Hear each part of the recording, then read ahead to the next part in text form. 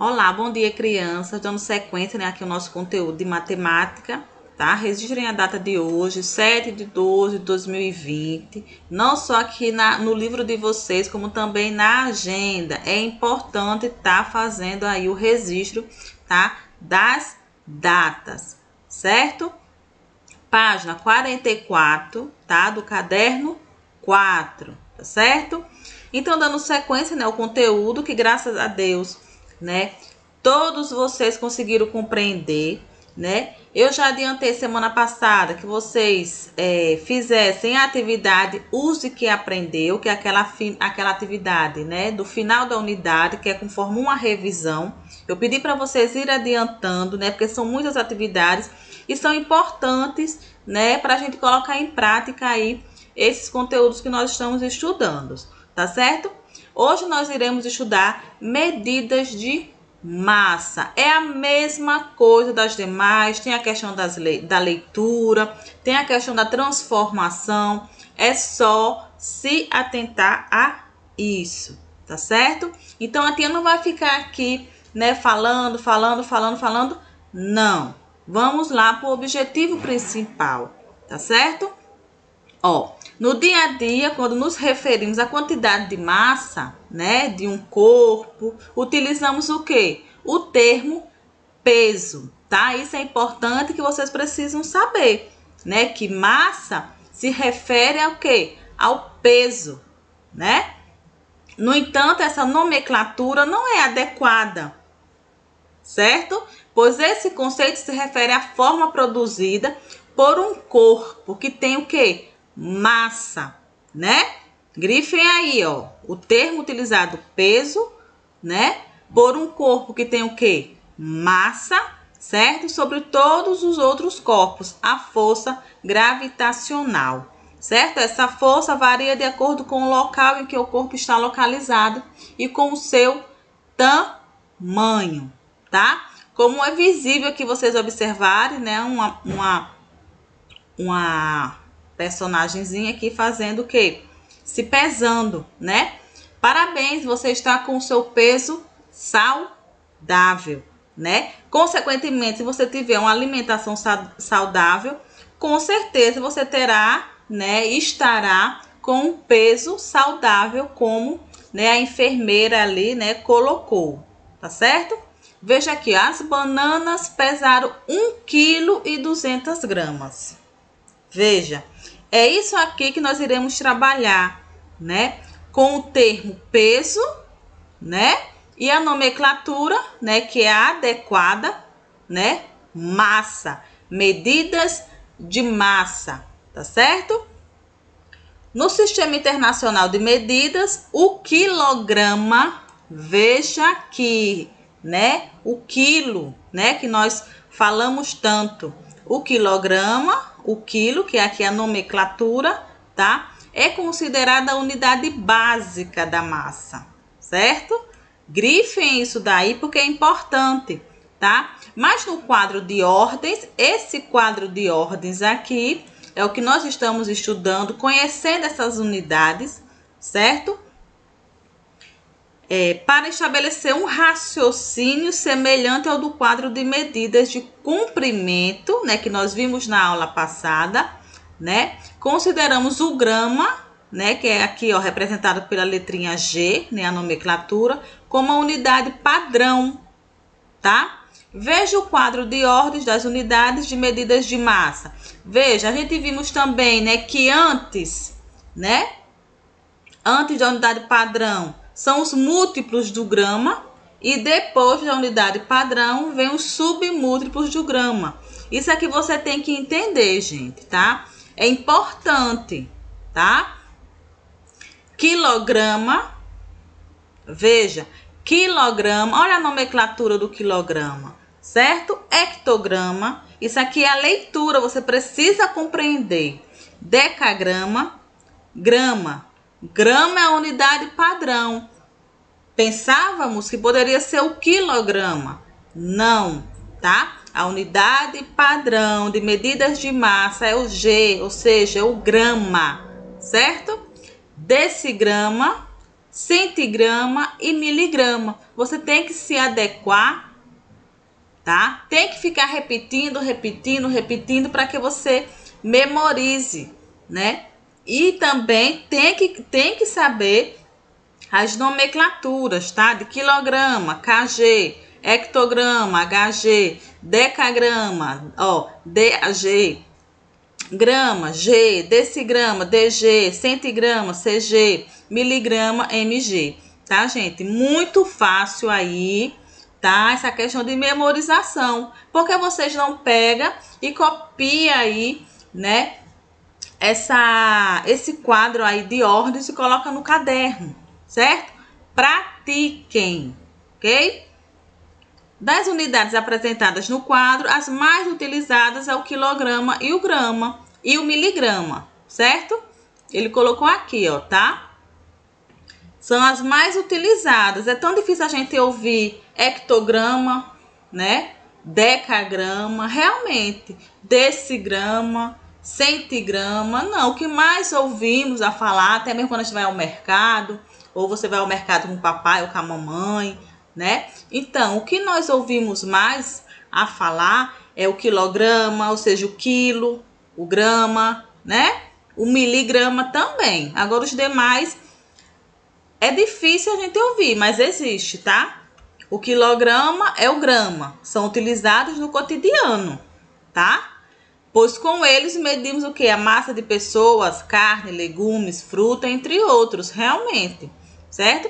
Já o miligrama é utilizado para indicar o que? O componente, o componentes de medidas, por exemplo, pois se refere a uma massa muito pequena, pequenina, tá?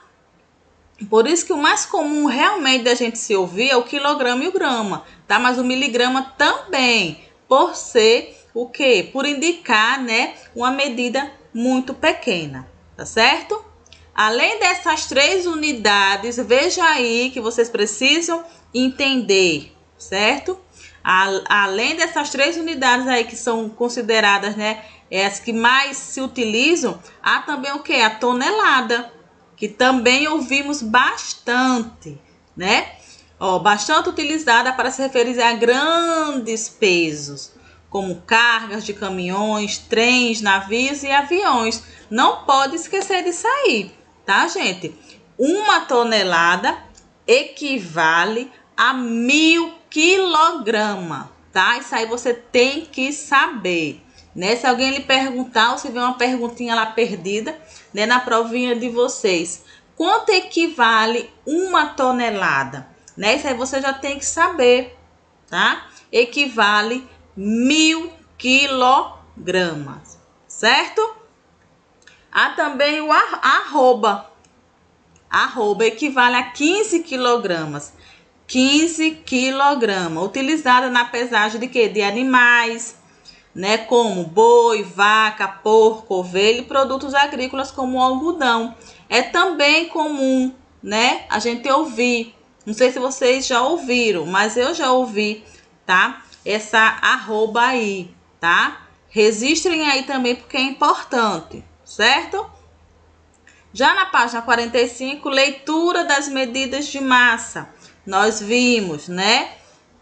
Tem que se atentar à questão da leitura, tem que analisar o que? A vírgula, né? Como você faz a leitura de 200 gramas? Vejamos. Se você respondeu 200 gramas, você está correto. A palavra grama é um substantivo masculino, tá, gente? Masculino, não é a grama. Não tá? Tem muita gente que fala errado até hoje. Não é a grama, a grama, a grama. Não, é o grama, certo? É um substantivo masculino, de maneira que o correto é o grama, tá? O grama, isso aqui é importantíssimo também, porque é visível quando você vai ao mercado, quando você vai a uma padaria, né? Que você vê as pessoas, né, falar a grama, tá? Não é, é o grama, certo? Ó, aqui ele já tá colocando outra colocação, explicando que vem a ser a grama. É um substantivo feminino, que se refere o que a parte do gramado, ou seja, o capim, realmente a grama, né? Então veja aí essa diferença, tá certo, gente? Também podemos utilizar o quadro de Otis para auxiliar o que? Na leitura dessas medidas, né? Ou seja, das medidas de massa. Observem, tá? Ó, esse primeiro quadrozinho aqui de ordem, vamos lá, ó. 3 quilogramas, 3 quilogramas e 855 gramas. Tem que, tem que prestar atenção a casa que se inicia e a casa que se termina, gente. Analise aí a questão das ordens, a questão da vírgula, para que você possa entender como se faz a leitura. Graças a Deus, assim, na outra aula passada, vocês não erraram tanto. Um ou dois só, três letrinhas no máximo que vocês se confundiram, né? Graças a Deus, tá certo? Veja aqui, ó. Lê-se 9 gramas 9 gramas e 128 que miligrama. Tem que analisar as casas decimais, certo? Veja, 21 quilogramas e 500, 500, olha a tia aí, ó, 500 não, 500 gramas, porque gramas é um substantivo que masculino. Tem que tomar cuidado. Veja que a tia já tinha falado 500 aqui, não é 500 gramas, certo? Tem que se atentar aí, porque uma bobeira a gente erra, certo? Aqui tem, gente, esse jogo rápido que vocês irão realizar, certo? Esse jogo rápido tá? Lembrando, gente, se não der para a gente corrigir toda a atividade de matemática, a gente termina na quinta-feira que vem, tá certo? Português a gente conclui hoje e matemática a gente vai iniciar a correção dessas atividades. Se vocês tiverem realizado a atividade conforme eu sugeri, né, a semana passada, para que vocês fossem adiantando essa atividade, né? Ótimo, a gente dá né? Pelo menos para corrigir a metade, porque hoje, infelizmente, a tia só vai poder ficar até as 14 horas mesmo, que a tia tem um compromisso, tá? Por isso que foi, a tia pediu para adiantar a videoconferência de hoje para as 13 horas, tá certo? Mas não se preocupe que a gente finaliza na quinta-feira, certo? Responda esse jogo rápido, né? E aqui vem a transformação de unidades de massa, é o que nós estamos estudando. Oh, beleza, coisa boa, né? Transformações dessas unidades aí. Vejamos, uma tonelada, uma tonelada equivale a mil quilogramas ou um quilo, certo? Veja aí como é que ele fez a transformação. Ele fez, ele dividiu por mil. Um quilo equivale mil gramas.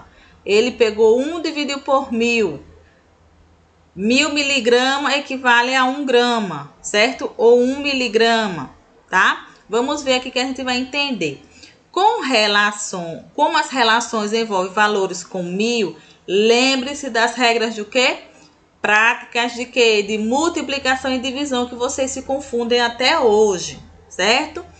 E é fácil a multiplicação com zeros e dividir também, gente. A questão é se atentar, né, o deslocamento da vírgula. Ao multiplicar por mil, né, a vírgula ela vai se deslocar três casas para a direita, tá? Ao dividir, a vírgula vai se deslocar três casas para a esquerda. Isso aqui vocês têm que ter no caderno, gente, e prestar atenção. Multiplicar três casas para a direita, dividir três casas para a esquerda e assim por diante, tá? Preste atenção, tá? É isso que vocês estão errando na questão da multiplicação e a questão é, onde para onde a vírgula vai se deslocar. Toneladas e quilogramas. Veja, toneladas e quilogramas para transformar essas medidas de massa de toneladas para quilogramas ou de quilogramas para tonelada, podemos utilizar a seguinte relação, aí as estruturas, os exemplos. Tá aí no livro de vocês. Não sou eu que estou dizendo, tá aí, gente. certo? Utilizem o livro, o material didático de vocês, tá? Tonelada para quilograma, vai multiplicar por mil. Quilograma para tonelada, a gente vai dividir por mil. Veja, 8,2 toneladas. O que, que ele fez? Ele multiplicou por mil para encontrar a quilograma, tá? O quilograma para tonelada, ele fez a divisão, tá, gente?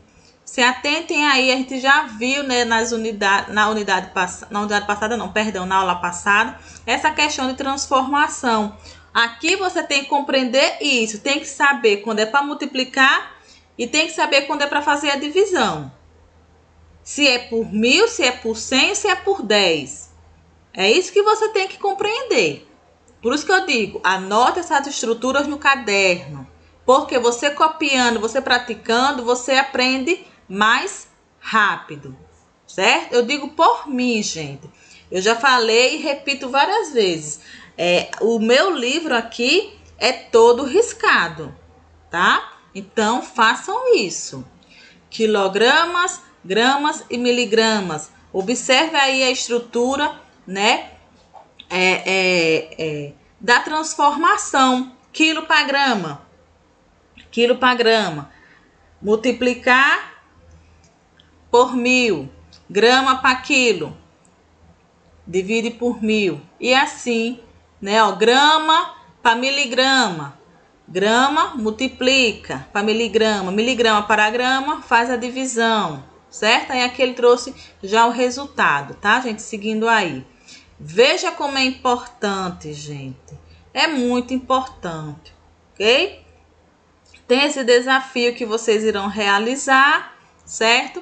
E use o que aprendeu, que foi que eu pedi para vocês realizarem, adiantarem, porque são muitas atividades, certo? Eu sei que não vai dar tempo a gente corrigir tudo isso aqui hoje, tá? Mas vamos é, fazer o possível para a gente adiantar, tá? Porque aí na quinta-feira a gente só começava o conteúdo novo, tá certo? Então, o que vocês puderem adiantar, adiantem, por favor, tá certo? E logo mais, né, na nossa videoconferência, nós iremos aí iniciar a correção e debater algo que tenha que vocês tenham ficado com dúvida ou não, tá certo? Às 13 horas, aguardo todos vocês. Beijos e até já!